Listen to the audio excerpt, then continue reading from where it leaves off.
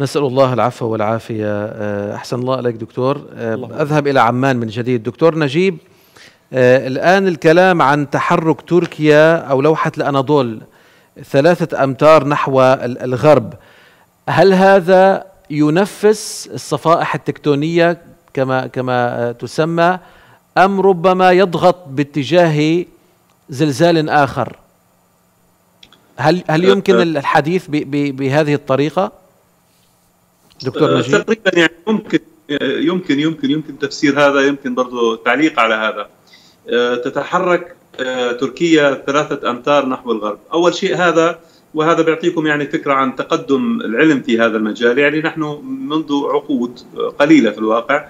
نعلم بأن الصفيحة العربية تذهب نحو الشمال وتدفع بتركيا نحو الغرب في خرائط يعني عليها الأسهم التي تبين ذلك قبل حصول هذا الزلزال. وكذلك تقذف إيران نحو الشرق وتشق طريقها نحو القوقاز آه، في اندفاعها نحو الشمال. طبعا هذا آه، في سياق التصادم اللي قاعد بصير الآلية التي يمكن أن تحصل هي في الواقع أنه الصخور تستطيع أن تقاوم الضغوط إلى حد معين لأنها صلبة. نصف الصخور بأنها صلبة وهشة. صلبة يعني أنها تستطيع أن تختزن الضغوط إلى حد ما. إذا ضغطتها بقوة ليست كافية ما ببين عليها تشوهات لكن في الواقع في طاقة ضمن هذا الضغط. لكن إذا كانت هذا الضغط وصل إلى درجة أكثر من طاقة هذه الصخور على الاحتمال آه، لأنها هشة تنكسر وينطلق منها الموجات الزلزالية التي تسبب آه، الحركات والدمار الذي نشاهده. طبعا ثلاثة أمتار بالنسبة لزلزال 87 بالعشرة تبدو معقولة رغم أنها أكثر قليلا من اللازم يعني إلا أنه أنا بعتقد بأنه يعني تحديد هذا الرقم تقريبي واقرب قد يكون 2 و6 قد يكون 2 ونص إلى آخره. هذا ما سيحدد في الواقع استخدام التقنيات المتوفرة في الوقت الحاضر بيسر طبعا بعضها يحتاج إلى وقت حتى أنه تطلع النتيجة.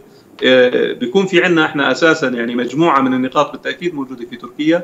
بنسميها نقاط مساحية نقاط جيوديزية دقيقة جدا محدد آه، إحداثياتها بدقة. إذا أعيد تحديد الإحداثيات هذه في الوقت الحاضر سيتضح كم أزيحت.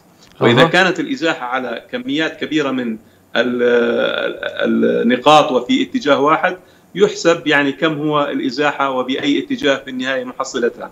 هذه طريقة لتأخذ وقت لكن في طريقة الآن أحدث ولا تأخذ وقت كبير اللي هي ما يسمى بطريقة التداخل الراداري أو تقنية التداخل الراداري.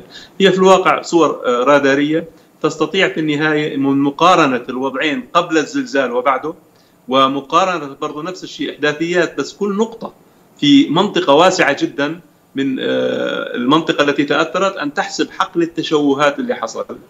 وكم أزيحت كل نقطة عن مكانها. هذا يمكن عمله سريعا لأنه بالتأكيد في هنالك صور أرشيفية قبل هذا الزلزال. يكفي أن تؤخذ صور بسرعة برضه آه، هي مصورات وليست صور أرقام يعني في النهاية. ويقارن فيما بينها ويشتق كم كانت الإزاحة في هذه في هذا السياق.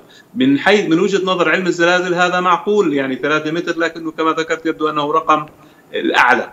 لأنه آه، حركات الزلازل يعني عمليا أصبح في خبرة كبيرة فيها حتى قبل هذه التقنيات. مثلا زلزال فلسطين 1927 11 7 27 كان قوته 6 وربع. آه، آه، تم القياس يعني ميدانيا من خلال مجموعة كبيرة من المناطق بأن معدل الإزاحة كان 40 سنتيمتر. آه. العربية صعدت إلى الشمال بالنسبة إلى صفيحة سيناء وفلسطين في بمناسبة ذلك الزلزال بمقدار 40 سنتيمتر. يعني هذا في الواقع هي مخصصات الضغط اللي حاصل في آه، هذه الصفيحة لمدة أكثر من 100 سنة حتى تجمع هكذا كم. أكثر آه، يعني آه، مرة حصل فيها إزاحة تم قياسها بالتأكيد بدها تكون مرتبطة بأكبر زلزال تم تسجيله.